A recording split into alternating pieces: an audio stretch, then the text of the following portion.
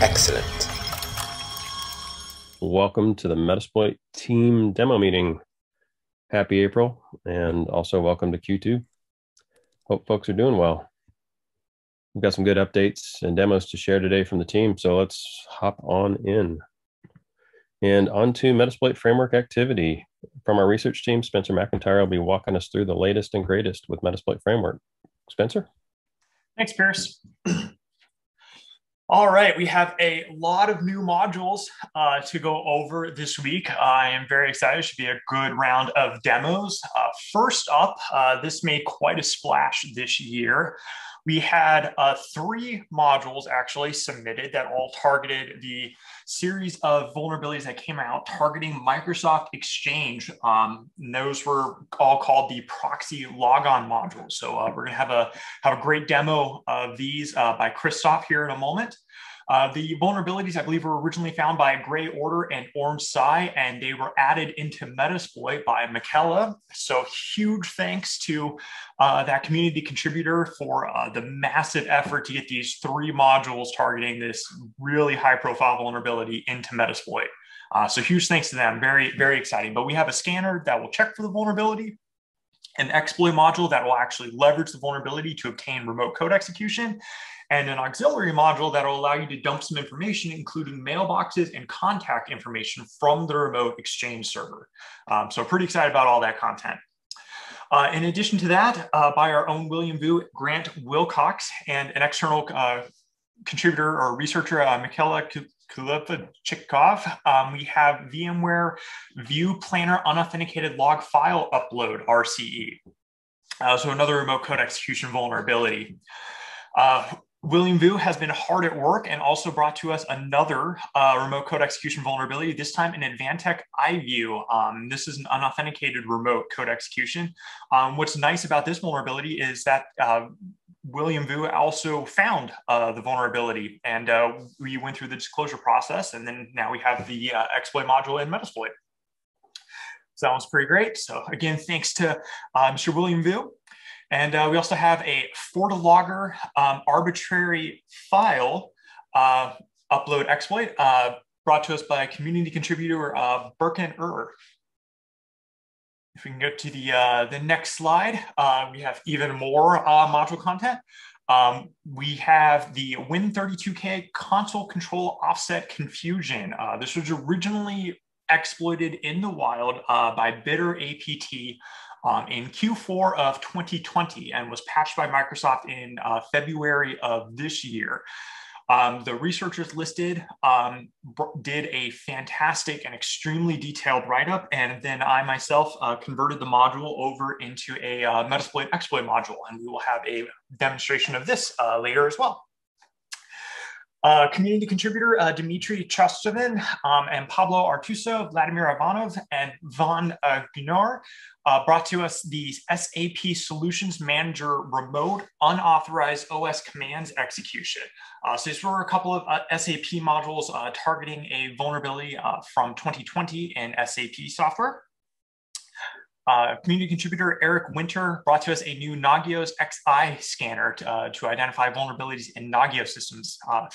Eric Winter has been working on quite a bit of Nagios content and really improving the framework's coverage for that platform. Uh, we have an F5 iControl REST unauthenticated SSRF token generation. Uh, it was remote code execution uh, by William Vu and Rich Warren.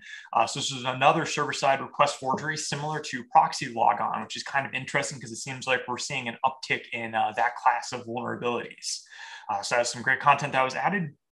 Sophos Lab offensive security team uh, brought to us another uh, Windows Exchange Server mailboxes uh, auxiliary modules. That way we can uh, fetch that information.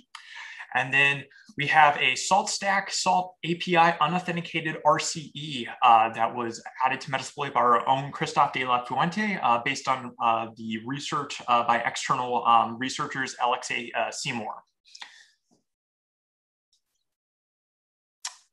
And uh, we have uh, quite a few uh, enhancements and features. Uh, our own Jeffrey Martin improved the Zeitwerk loader to ensure only one instance exists at a time.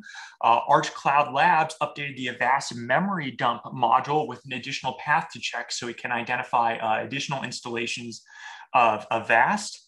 Uh, community contributor Pingport 80 updated the search command output so it can be sorted by a number of columns in both ascending and descending order, which is a really nice improvement.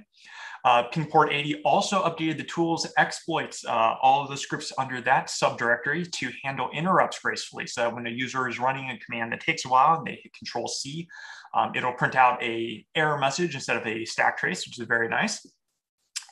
Our own Alan David Foster added the time command to MSF console, which will be useful to allow developers to measure how long command execution takes, which is useful for profiling.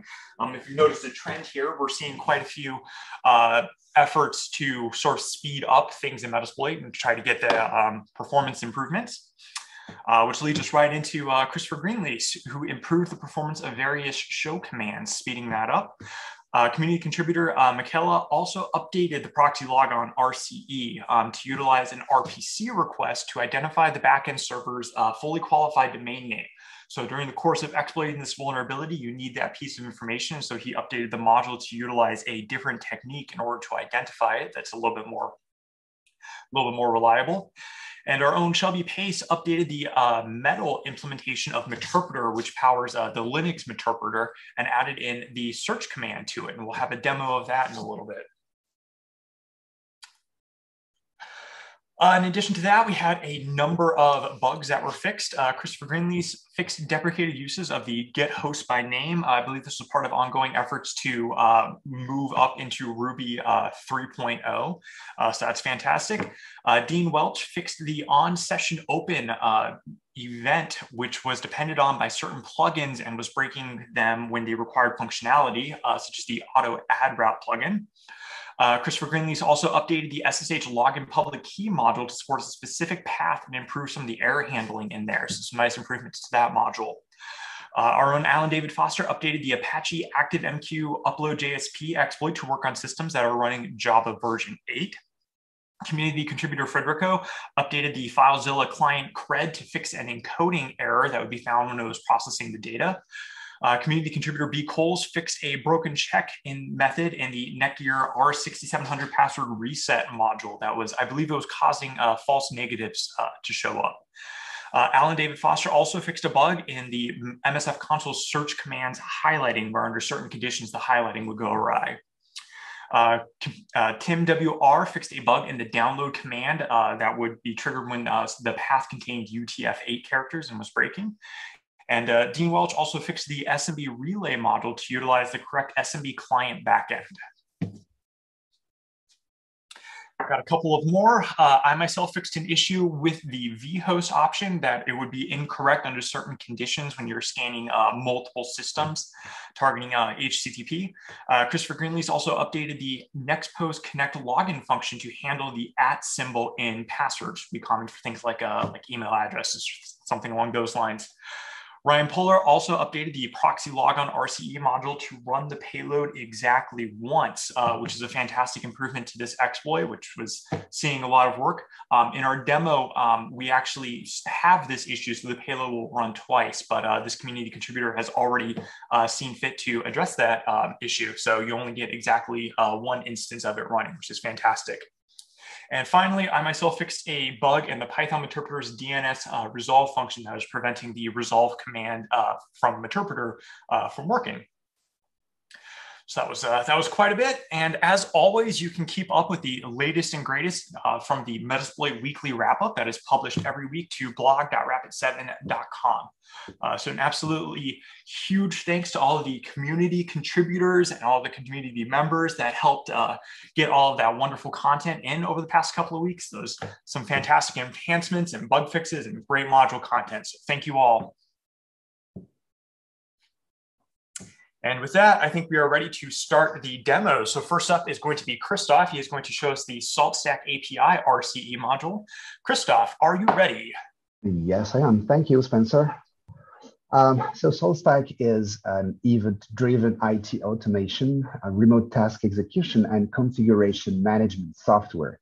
Uh, so this exploits module allows to execute commands remotely on the master server as the root user. So it leverages an authentication bypass and directory traversal vulnerabilities in the REST API to get arbitrary write as root on the master server.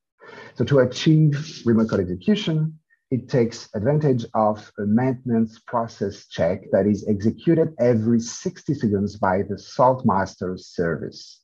This automatic job reloads and executes all the grains on the master, including custom grain module in the extension module directory. So uh, the grains is uh, a piece of information that uh, uh, uh, provides information about underlying system and it's uh, the cool thing that it can be customized with Python scripts. So what this module does is uh, actually first exploits the arbitrary file write as root and simply creates a Python script in the extension module directory and just waits for it to be executed. So the time interval is set to 60 seconds by default, but uh, it can be changed in the master configuration file with the loop interval option. Right. So note that uh, the administrator can execute commands locally on the master, and in this case, the, the, the, the maintenance process, sorry, uh, the maintenance process check will also be triggered. So this is another way to trigger this payload. So please, can you go ahead and, and start the video? It's pretty quick, so that's why I explained everything before. it has been fixed in the packages 3000.8, 3000.1.6, uh, and 3002.5. So the options are uh, the basic options of the remote host, local host for the payload, and also the location of the extension module directory where the Python script will be written. Uh, this is set to the default value. So I don't think you will need to change this unless the administrator change it in the configuration file. And uh, yeah, we have different targets available. The Unix command and Linux dropper, we're going to use the default one, the Linux dropper to get a metadata session. And here we go. Note that this module tries to clean up itself by deleting the Python script and all the files uh, generated during the execution. Here we go, we're root. Awesome, thank you, Christoph. I believe you are up again uh, with the highly anticipated Exchange Proxy Logon uh, series of demos. You ready? Yeah, thank you. Um, so I will demo three models uh, from uh, originally from the community contributor Mick Halley, um, so they exploit two Microsoft Exchange Server vulnerabilities patched in uh, March out-of-band security updates. Um, so please, uh, can you go ahead and start the video? Right, so we are going to use uh, uh, an Exchange server which already have some emails and uh, attachment here and uh, the first module is um, uh, a scanner module that uh, simply checks if the target is vulnerable to pre-auth server-side request forgery, the CVE 2021-26-855. So it's pretty simple. You just have to set the remote host and it will tell if the target is vulnerable or not. Right. So the result is also stored in the database. And like every scanner module, you can use an IP range or file with a list of IPs. This is very useful to scan a set of hosts in just one go. Right, so the next module is, uh, the, the next module dumps mailbox in uh, for a given email address, including emails, attachments, and contact information. It exploits the same server-side request forgery vulnerability. And the options are pretty much the same. The You have to set the email address you want to dump. So here is the email address I have set up.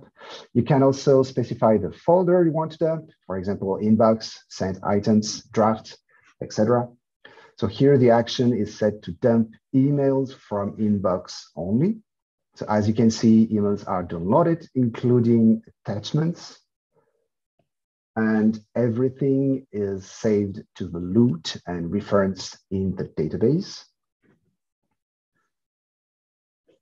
The uh, yeah, it's a, it's pretty cool module. And you have, it also downloads, so uh, attachment, here we have a PDF, which is here, uh, and you can access it directly from the LUT. We're gonna check, for example, this file and look at its content. Right, so we have the raw email from this uh, email, from this user mailbox, which is uh, this email. Right, so uh, let's try now with another action option to dump contact information. So this one, and it's gonna work pretty much the same way. Uh, you will have now contact information in files uh, in the LUT. So we just have one contact for this user, but as you can see, it dumps everything. And it's also saved uh, to the LUT. So that's cool. So the, the last module uh, is um, uh, remote code execution. So you can execute arbitrary code remotely as system without authentication. So that's pretty cool. It exploits the same server-side request forgery and also a post-auth arbitrary file write vulnerability, the CVE 2021-27065. The options are pretty much the same. Uh, something important here, the email address you use has to be the email of an administrator for the exploit to work. Right, so it offers multiple targets, and I'm gonna try the first one, the PowerShell to get a meta session. So the, the exploit uses the first scanner model. So as check method and make sure the target is vulnerable, then it exploits the server-side request forgery to retrieve information such as server name, session ID, etc. And then it exploits the arbitrary file write vulnerability to create a .aspx web page that embeds a backdoor. This backdoor, once this backdoor is planted, the module uses it to stage the actual payload and execute it. Right, so here we have our session as a system user. So as Spencer mentioned earlier, this module actually create two sessions, and this has been fixed uh, recently, so you won't see this if you use the latest version. No, so let's try now another target. Um, for example, target number two, which will uh, execute Windows command, actually PowerShell command directly, so you don't if you don't want to use Metaperator, for example, or you cannot use it. So the process is exactly the same. And you jump directly into a PowerShell uh, prompt. So here also we have two sessions uh, that's now fixed. There we go, system. So that's pretty cool. Very, very useful modules. Indeed. Very cool.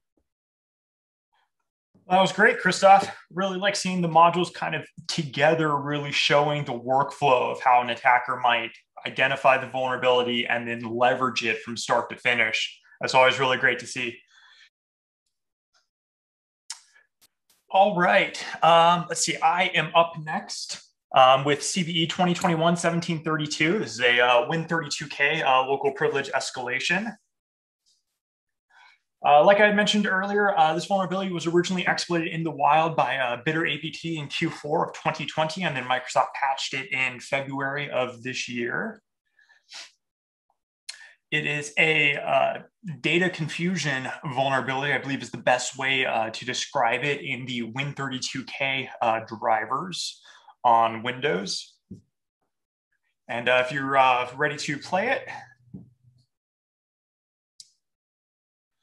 All right, so uh, we have our session here uh, running as a standard user. Just gonna go ahead and show we're running on, I believe this is uh, Windows 1909, though this vulnerability does affect um, up to the latest versions of Windows 20H2, uh, assuming that it is missing the February 2021 patch.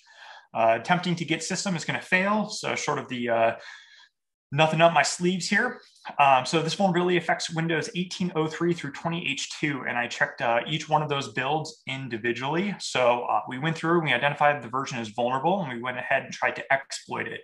Now, the first time it failed, uh, this exploit's not 100% reliable, but one of the nice things about this vulnerability is that, as you saw, um, it ran very quickly.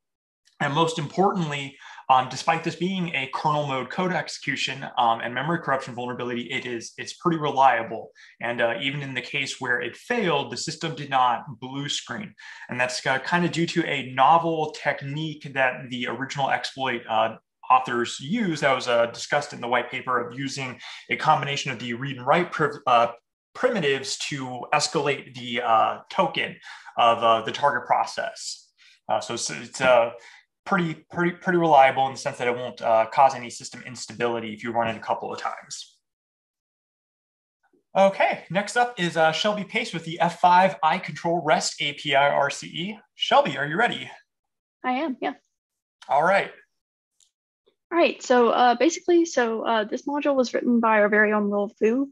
Um, and what it does is it exploits uh, both uh, big uh, F5 big IQ devices and F5 big IP devices. Uh, this demo is going to be against a big IP device specifically. Um, and what it does is it simply exploits server-side request forgery vulnerability in F- F5's iControl REST API to then generate a valid session token uh, in order to then uh, interact with a separate endpoint that you can get code execution against. And uh, you can go ahead and uh, play the demo. Okay, so first, I think I'm just gonna be slowly typing out IP addresses, but uh, let's see. Um, there are a couple of options. One being the endpoint. There are various endpoints you can use to actually generate the token. Um, you can supply an endpoint, or if you don't, I think I'll highlight it in a second. Um, if you don't, um, the module will use a, def uh, a, a, a, random one from a list of endpoints that's within the module. Um, and you also need a valid admin user account to uh, exploit the SSRF vulnerability. But then uh, once you do that and generate a token, you can then get code execution as the root user on a vulnerable device. Awesome. Thank you, Shelby. And thank you, Will. Uh, Grant, you are up with the VMware uh, View Planner um, RCE. You ready? Yep, let's go for it. Yeah, so if you just want to play the video here. So this was a pretty simple vulnerability. Um, essentially, there was a bug within VMware vPlanner prior to, I believe, 4.6 security update number one. Um, basically every version of VMware View Planner 4.6 prior to that version um, allows for users to upload arbitrary files as an unauthenticated user. So in this case, we just utilize this vulnerability to upload a Python uh, reverse shell. So excuse the little typos here. Um, I'm just sending the R host and L host uh, parameters. Um, but essentially what we should be able to do is by abusing one of the scripts that come with the um, with the product, you can essentially upload an arbitrary file. We then backdoor that file. Um, the reason that we backdoor is that if we were to overwrite it directly, we would remove the ability to actually remove the backdoor later on. Um, so we simply just add some code to the existing file to execute a script when we send a specific request. Um, and then once that's done, then we remove the backdoor. We can also see that um, this module does have checks to see if the target file is vulnerable or if it has been patched. Um, this just allows us to see if, you know, if there's some newer version, but they haven't applied the patch, then we can determine if it's vulnerable or not. Um, the resulting code execution occurs as Apache within a Docker container. So I'm just going to show you the contents and you can see that we've got a Docker environment there to indicate that it is a Docker file um, that we are running in. So just be aware of that. Um, and you can see we're running as the Apache user. And just to double check that, uh, you can also see from the ID command we're running as Apache.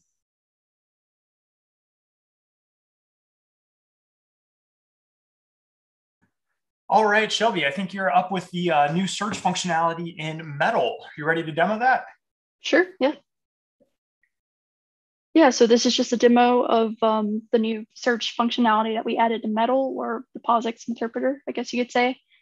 Um, uh, you can go ahead and start the video. Um, so normally this this exists, this has existed for a while in, in Windows Interpreter, um, but we haven't had it for uh, Metal. So people who've you know gotten sessions on Linux or OS X or something like that, they haven't been able to search the file system.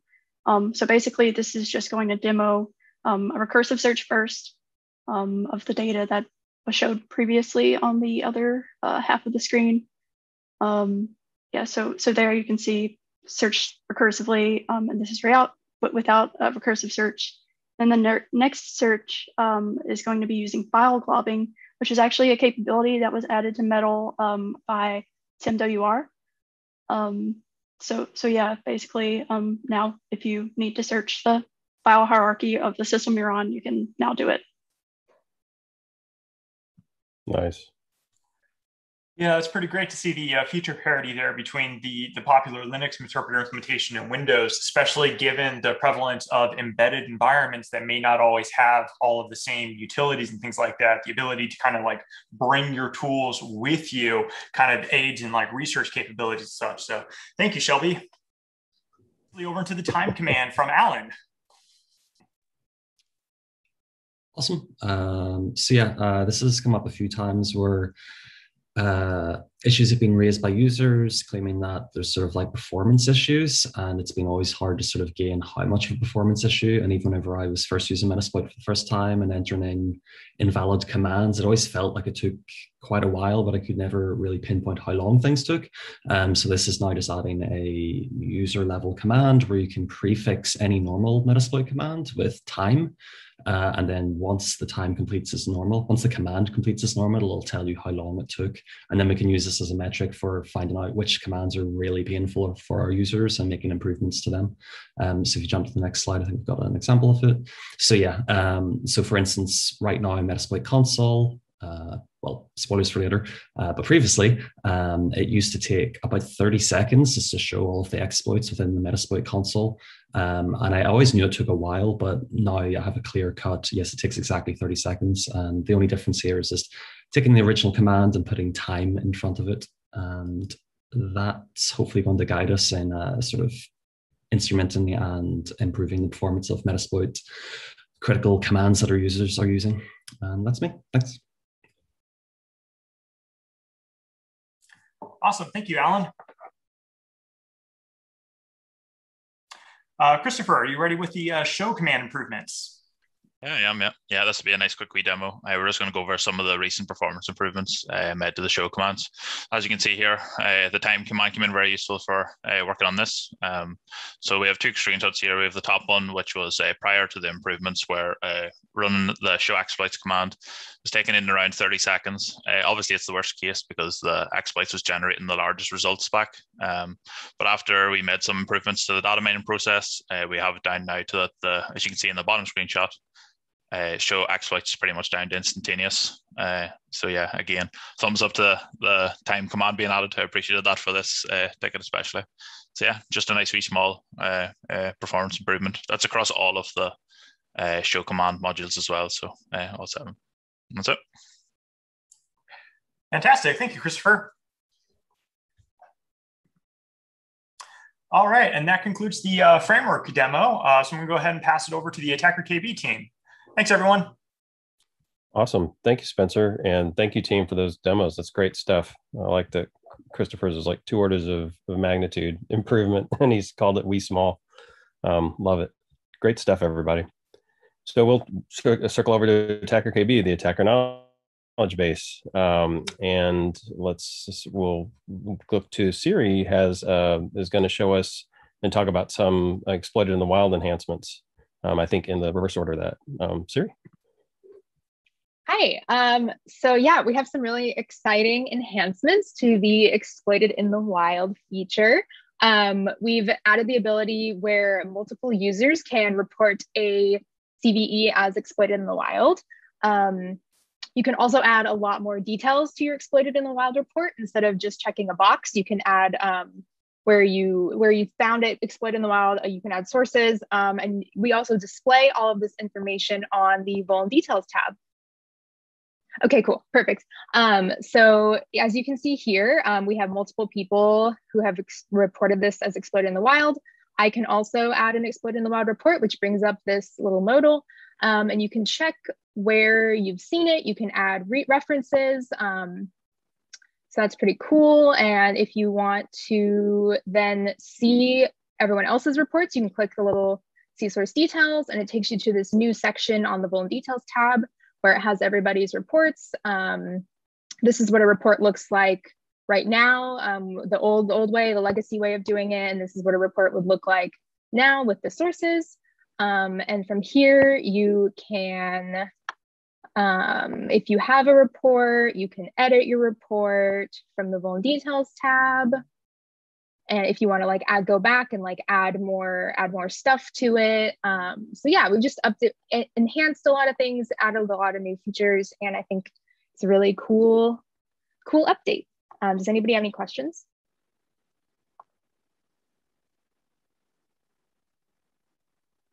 All righty. I will. That was uh, demoed locally, correct?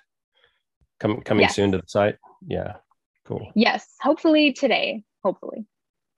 I don't want to jinx awesome. anything. Right. Yeah.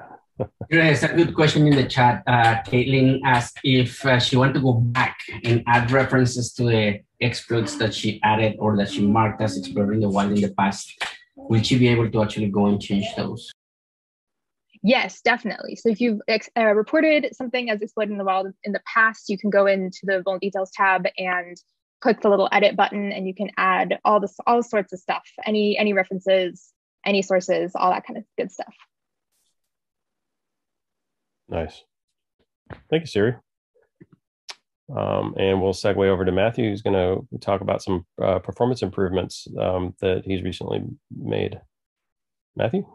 Yes, the performance changes have actually been made for a while. They finally got reviewed. Uh, so thanks to Sonny Gonzalez for spending time to do a detailed and thorough analysis. He also spent some time during his uh, review of that PR to produce uh, some metrics, which I'm presenting here, and just to talk through quickly the performance improvements and uh, what we see here. So the chart that you're seeing viewing right now, this is a metric against the changes before the performance improvements with the cache disabled um, and the cache disabled in the new the new changes. So what you're seeing is just raw improvement of uh, request timing based on reworking server side code uh, primarily. So there were lots of places that I discovered uh, ways that we could be doing things better, uh, maybe in some cases unnecessary requests that were being created and sort of optimize that and parallelized some of those requests um, to, to, squeeze the time down even further. The homepage, you'll note, probably looks still a little bit high. Um, that's because some of the requests were, the backend requests were costly. What you're not seeing here is with the cache enabled, um, that goes down to, I think Sunny's metric was 77 milliseconds uh, on the homepage. So this is a comparison of uh, before and before and after with no cache. With the cache enabled, we get we squeeze it down everything everything down further, so you get um, sort of sub-second response times. Uh, this is all development system, so I, I, expect actually the numbers to look even nicer on uh, production hardware. And uh, that's it. This is a these are changes that have been merged. Uh, as Siri mentioned, uh, the Explode in the Wild changes are completing the last round of reviews, and the plan is to get all of this, both the Explode in the Wild and the performance improvements, deployed later this afternoon or tomorrow. So coming to live AKB near you soon. Thanks, Matthew. Thank you, Siri.